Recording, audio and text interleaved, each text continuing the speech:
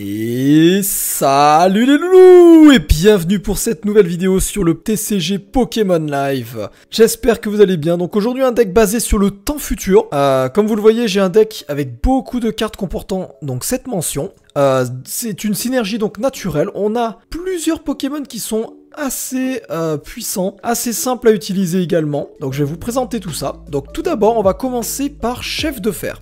Alors, Chef de Fer X, donc c'est une nouvelle carte euh, de type Si, 220 PV, temps futur, qui a un talent qui s'appelle Ordre Cobalt. Donc ça, ça va être un peu le, ça va être un peu la base de notre deck. Donc Ordre Cobalt, ça va faire que les attaques utilisées par vos Pokémon temps futur, à l'exception de Chef de Fer X, donc il peut pas se booster lui-même ses dégâts ni à un autre, inflige 20 dégâts de plus. Donc tous nos Pokémon temps futur infligent 20 dégâts de plus. Donc vous comprenez que si on en met plusieurs sur le banc, ça peut monter très vite. Ensuite, il y a une attaque Shotel double pour 3 énergies, donc 50 dégâts à 2 Pokémon différents de l'adversaire. Bon, c'est pas... Voilà. En ayant les effets, c'est pas fou, mais en général, on ne veut pas attaquer avec lui. Un petit garde de fer euh, qui a pour but donc euh, d'utiliser surtout sa première attaque.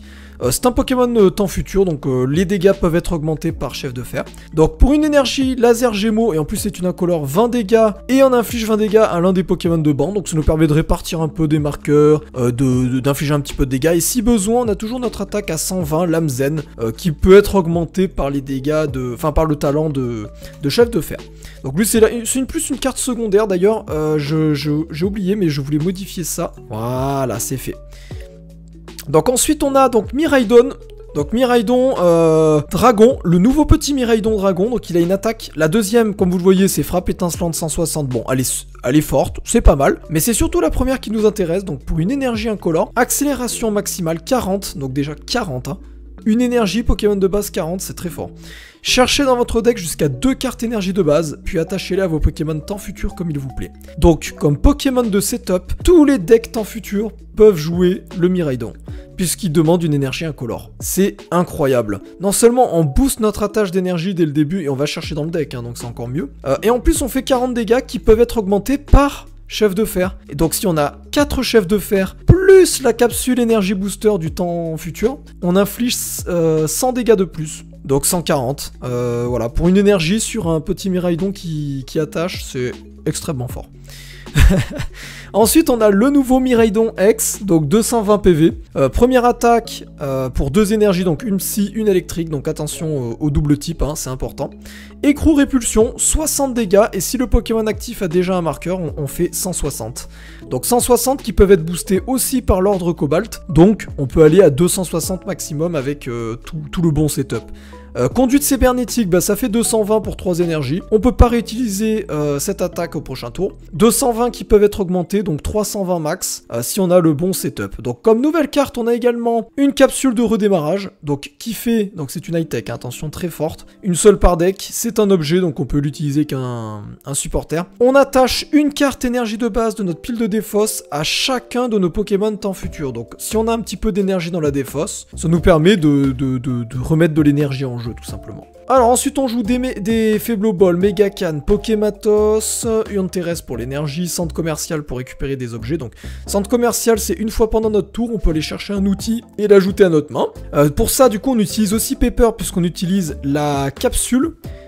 Pepper et le centre nous permet de récupérer cette capsule, donc euh, capsule énergie booster temps futur.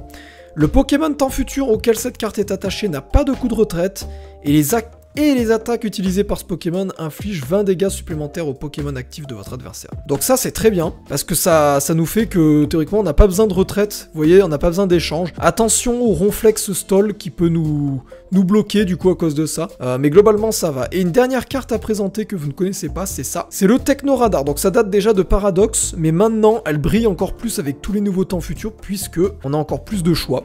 Donc on défausse une carte de notre main, et en échange on peut aller chercher jusqu'à deux Pokémon temps futur dans le deck. N'importe lesquels. Donc c'est une sorte de... On va dire de passe VIP, euh, Poffin copain copain, euh, boosté aux hormones, puisque c'est tous les Pokémon, y compris genre euh, Miraidon X, quoi. Voilà. Donc il a pas de retenue. Bah écoutez, l'essentiel c'est d'aller tester tout ça en game, hein. comme ça on voit ce que ça donne. Allez, let's go Et je vous récupère un petit peu plus tôt les loups que d'habitude. Le deck, je vous avais pas dit son nom, c'est Mirail du Turfu. Et je joue en ranked aussi d'ailleurs. Voilà, je joue en ranked étant donné que ce deck quand même, euh, j'arrive plutôt bien à me débrouiller, je, je- je sais que je, je peux gagner quoi des parties, voilà. Il est assez fort. Donc ça me dérange pas de le jouer en ranked, euh, tant pis. Donc on joue en second si possible. On a beaucoup d'avantages de, jouer second, puisque ça nous permet du coup d'attaquer dès le début. Et comme on n'a pas de Pokémon qui évoluent, on a que des Pokémon de base, bah en vrai c'est parfait. En plus on a une recherche, donc on peut la jouer également lors de notre premier tour vu qu'on joue en second. Donc là c'est pas mal. On a le Miraidon. On va faire une faible ball. On va faire une recherche et on va caler le maximum de, chefs de fer sur le, sur le banc afin d'augmenter nos dégâts. Malheureusement, dans ce deck, il peut y avoir une petite problématique, c'est-à-dire que euh, vous pouvez mettre KO quand même un Pokémon s'il n'en a qu'un seul en face. Vous voyez là, c'est peut-être le cas. J'espère qu'il a un Pokémon assez résistant parce qu'en un tour, je peux gagner déjà, pour vous dire. C'est vraiment, vraiment fort comme deck. Donc là, on a un adversaire qui prend son temps. hein. Tout à l'heure, d'ailleurs, j'ai lancé une partie, je me suis retrouvé euh, bah, contre personne, puisqu'il a abandonné. Donc ouais, on va essayer de monter en ranked, c'est l'occasion. En fait, quand je joue des, des, decks qui sont assez méta, c'est-à-dire que celui-ci, il est pas méta puisque j'ai pris une variation avec Miraidon. Euh, la vraie version qui est jouée en tournoi, enfin en tournoi, à- en ranked en tout cas, que les gens jouent, c'est avec Pomme de Fer. Mais comme je déteste Pomme de Fer et que je trouve ça un peu toxique, bah du coup je ne le joue pas parce que c'est vraiment insupportable en fait. Enfin, c'est mon avis bien sûr mais je trouve ça pas drôle personnellement ça me, me fait pas beaucoup rire quoi. Donc là c'est bon on met KO largement le, bébou Mimiki en face. Petite recherche professorale, voilà un petit techno radar. On va virer la faible ball et on va se prendre hop Cobalt... Non, attendez, euh, Miraidon et chef de fer. Ouais, Miraidon et chef de fer. hein. Comme ça, on cumule un max de damage. C'est pas plus mal de faire comme ça. hein. Allez, un petit 120 d'entrée de jeu. J'ai quasiment le meilleur setup. Euh, J'aurais pu avoir un peu plus. Mais euh, alors là, j'ai le choix. Est-ce que je bourre mon Miraidon du banc? Euh, allez, on va faire ça. On va mettre sur le Miraidon du banc. Miraidon du banc qui est, qui est vachement plus pratique puisque vous voyez, il demande une incolore là où le c'est une seule récompense. En fait, vous allez voir, lui demande quand même deux énergies électriques et une psy, donc euh, c'est un petit peu plus cher son attaque théoriquement. Là on a Pepper, donc on peut récupérer ce qu'on veut dans notre deck. En face c'est Mimiki, donc ça peut être euh, plein de decks. Je vois de l'énergie feu. Peut-être que c'est une variante de Draco feu avec Mimiki pour bloquer les Pokémon de base justement et essayer de tanker au début. Le problème c'est que ah non. Ah non, j'ai vu le bâton passe. Donc le gros bâton. Ah ok, je vois, je vois. Euh, ça sent le zone perdue. Ça, forcément, il y aura du zone perdue. Par contre, d'évolution to room, qu'est-ce que ça peut être? C'est assez complexe en face. hein. Je vois du feu. Ça peut jouer pas mal de decks différents. Est-ce que ça jouerait un Coraidon X euh, zone perdue peut-être? C'est un peu, ouais, c'est un peu le mélange. On sait pas trop. Tapatoues. Ah, bah Tapatoues, là, il va redémarrer, là. Là, notre adversaire va pouvoir redémarrer à fond, en turbo, comme on dit, hein. Comme nous, hein, turbo, accélération max. Ah, il a remis le, bébou à l'intérieur du deck. Donc, vous voyez, les dégâts sont quand même assez élevés, hein. 120 juste avec une, euh, une attaque, c'est quand même fort. Pour un, single prize, vraiment, c'est c'est vraiment pas dégueu. C'est là où j'ai hésité, vous voyez, j'aurais peut-être pu euh, envoyer mon... Ah, en vrai, je le mets KO, je pense. hein. Ouais, ah voilà, il a changé. Bon, ben 160 en vrai, euh, ça se fait encore, mais. Et j'ai toujours ma deuxième attaque à 220 s'il faut. Donc là, je fais 80 de plus, donc 140. Je vais aller chercher le pepper. On va récupérer un. Qu'est-ce que je peux aller me récup là dans le deck? Déjà, on va regarder un truc. Donc j'ai bien 4, 3, 3, 2, 2, pepper. Ok, il manque un peu d'énergie. Je vais récup pour commencer en valide, un comme ça et euh, un Pokémon. Non, pas un Pokématos. On va se prendre quoi alors? Ah, on peut, on peut pas prendre deux outils, ça aurait été dommage là, ça aurait été bien ça. Faible ball.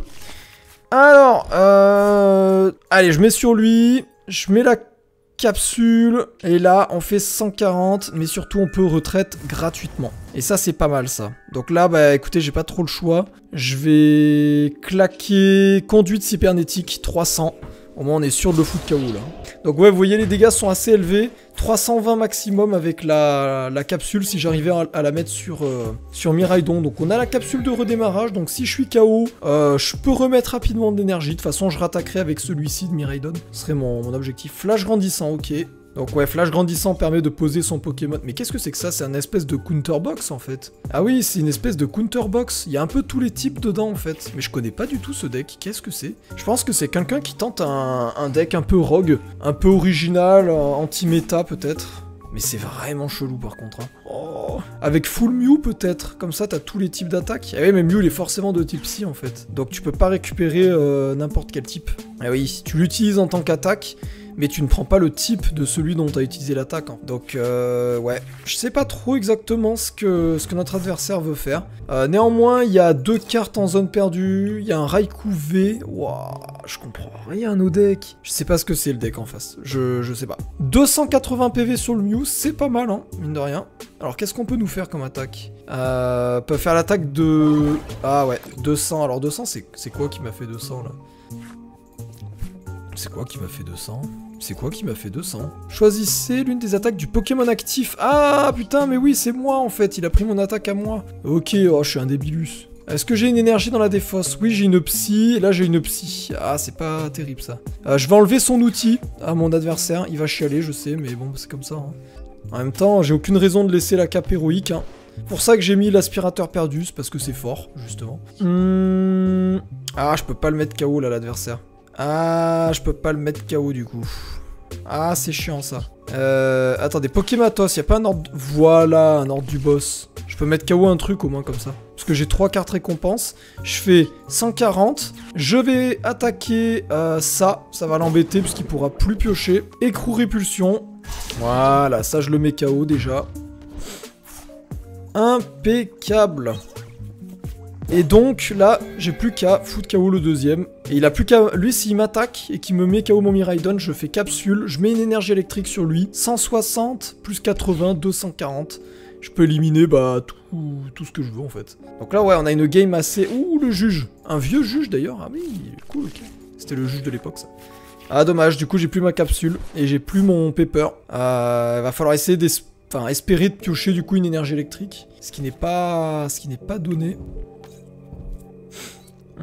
NTIV, il va peut-être battre en retraite avec son Mew. Ce serait plus, je pense que c'est mieux pour lui de mettre son NTIV puisqu'il a quand même 300, enfin 230 PV pardon. Ah, le Mew est un peu faiblard. Bah il va faire mon écrou répulsion. Ah non, comment, ça il... Pourquoi il fait 200 à chaque fois Je comprends pas très bien. Ah, alors il a parce qu'il a double turbo, mais ah oui mais c'est parce qu'il est retourné sur le banc et du coup il peut réutiliser mon attaque en fait.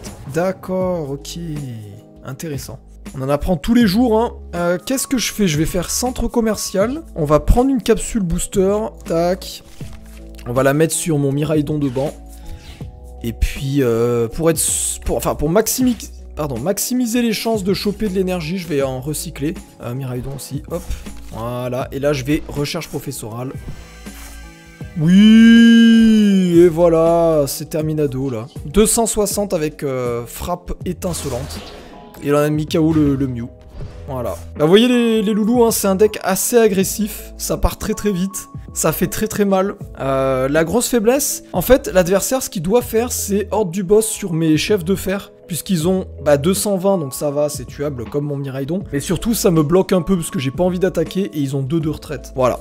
Allez, game suivante Allez, on y va pour la deuxième partie. On est contre Franco 97. J'espère qu'il va pas trop y aller Franco. bon, euh, bah on va essayer de répéter la même chose qui nous est arrivé. Donc il nous faut un Miraidon pour commencer. C'est vraiment indispensable. C'est la meilleure carte pour commencer. Euh, ouais, c'est bon là. Donc on n'a pas de chef de fer, mais bah écoutez, ça, ça va le faire. Chef de fer, ça va le faire. MDR. Euh, Dracofeu.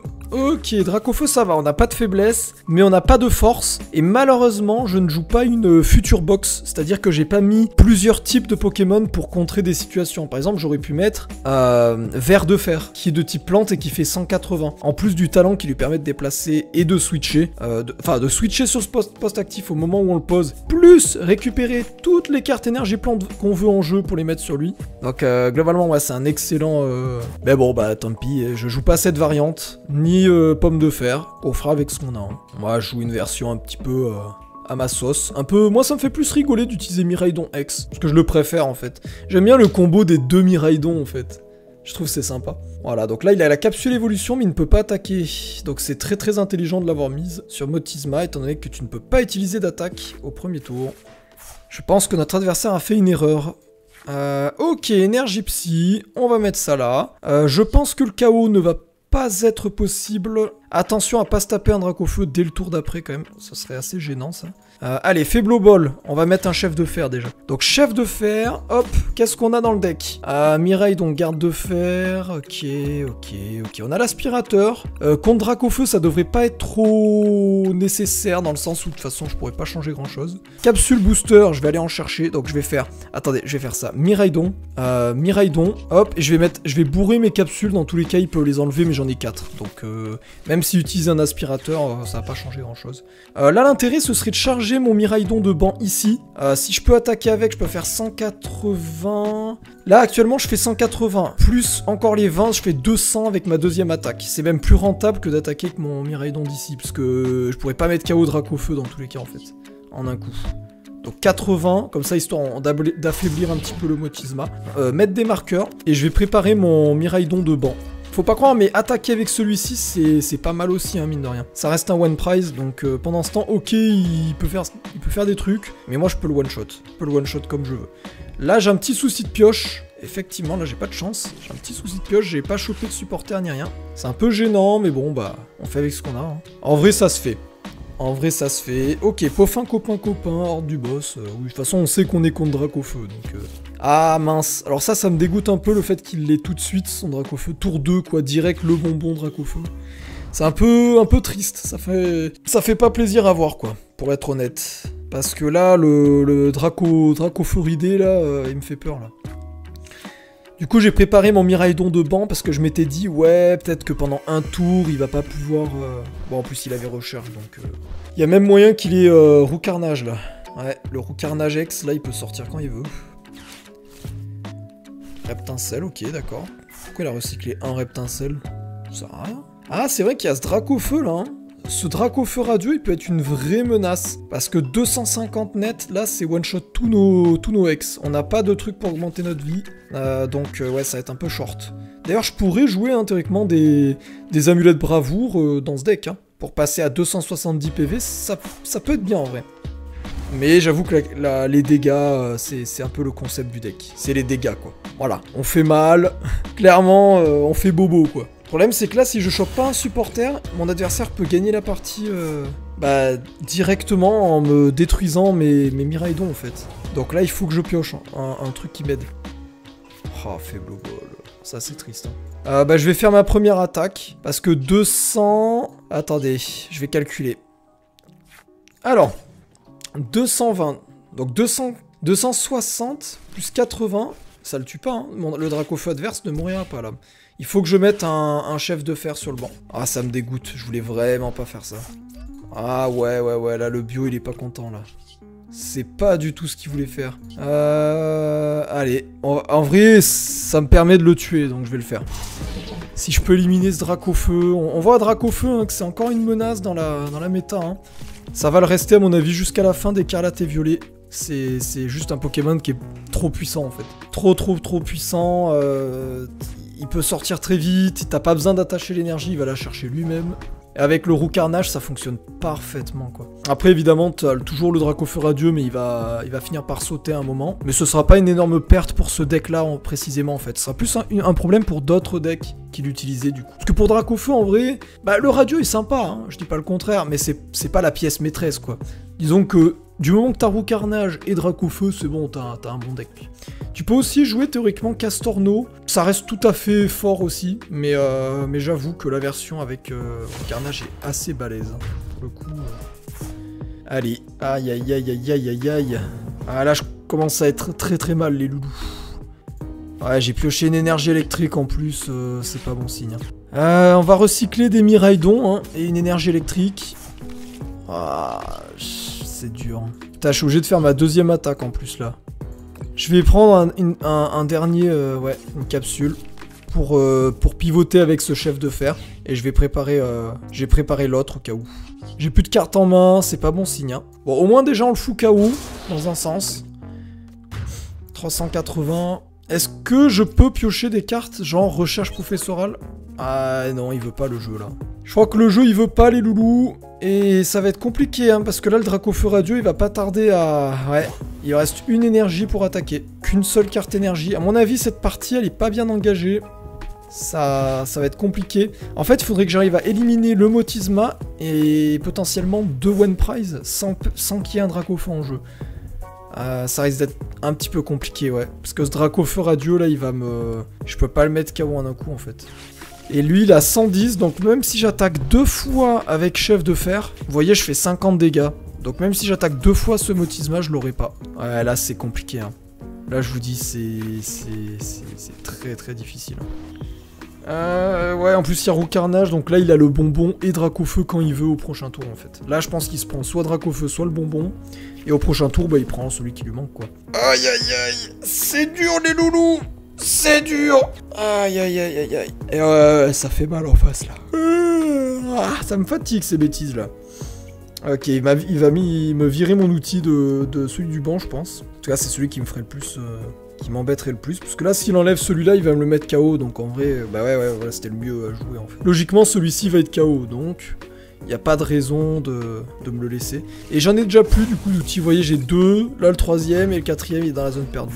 Donc j'ai plus d'outils. Le Dracofeu a attaqué, je peux pas le mettre KO. Donc je peux même pas le punir. Ah là, c'est mort, c'est mort, c'est mort. Là, je peux pas piocher. Euh. C'est assez rare que je sois bloqué dans ce deck. Mais euh, comme par hasard, il fallait que, ça arrive maintenant, quoi. Donc, euh, je vais mettre garde de fer en espérant attaquer au prochain tour. Mais là, je suis complètement bloqué, là. Là, c'est dead, hein. Parce que là, le Dracofeu, il va se barrer pour laisser place à l'autre Dracofeu. Parce que là, il va le récupérer, justement, avec recherche rapide. Eh, tous les tours, chercher la carte que tu veux, c'est vraiment fort. Hein. C'est pour ça que ce deck est aussi fort, hein. La combinaison Roucarnage Dracofeu, il y a tout, il y a le turbo avec euh, le fait que Dracofeu il booste l'énergie à qui tu veux, il va chercher dans le deck en plus. Il n'y a rien de plus fort que d'aller chercher dans le deck. Parce que t'es pas dépendant d'une condition, en fait ton deck il est déjà construit comme ça quoi au début. C'est euh, ouais, c'est très très fort. Et en plus ses dégâts augmentent euh, à des, proportions absurdes. Genre ils montent à 250, de 300, 330. Toi t'es là en mode bon bah rip. Ouais, c'est compliqué hein, d'y résister au Dracofeu. Oh, ça c'est gentil ça. Ouais, tu me diras, il reste que deux cartes récompenses, donc en fait j'ai déjà perdu. Parce que là il fait 60 dégâts, donc 240. Donc là j'ai déjà perdu la game en fait. Parce que là Dracofeu fait 240, plus... Ah, plus ma faiblesse, et plus la ceinture maximale, il faisait 290 x 2. Et ouais, Bon ben voilà les loulous, un Dracofeu malheureusement contre ce genre de deck c'est un peu compliqué. Euh, de fer et sert à ça justement normalement. Euh, et le Dracofeu radieux sert à contrer Vert de fer. Donc vous voyez que c'est un peu le serpent qui se mord la queue, mais euh, ça aurait été plus fort. Après c'était rigolo de le jouer. Allez et merci d'avoir regardé cette vidéo les loulous, j'espère qu'elle vous aura plu. Si c'est le cas, n'hésitez pas à mettre un petit pouce en l'air et à vous abonner si vous n'êtes pas abonné. On se retrouve mercredi prochain pour un nouveau deck. Passez une excellente journée. Et moi je vous dis salut